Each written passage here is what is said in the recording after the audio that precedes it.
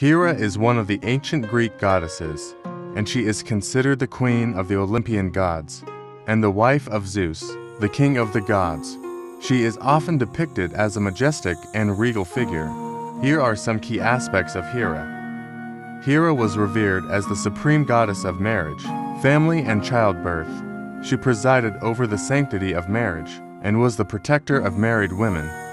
Hera was known for her strong and sometimes vengeful personality, particularly when it came to her husband's, Zeus' infidelity. She often sought revenge against Zeus, mortal lovers, and their offspring. Her symbols included the peacock, which was considered sacred to her, and the cow. The cow was associated with her role as a fertility goddess. Hera had a significant presence in Greek mythology. She was involved in various stories, such as the myth of Heracles Hercules, whom she famously opposed due to his status as Zeus's illegitimate son. Despite Zeus's infidelity, Hera remained the wife of Zeus throughout Greek mythology, and their relationship was a complex one, marked by conflicts and occasional reconciliations.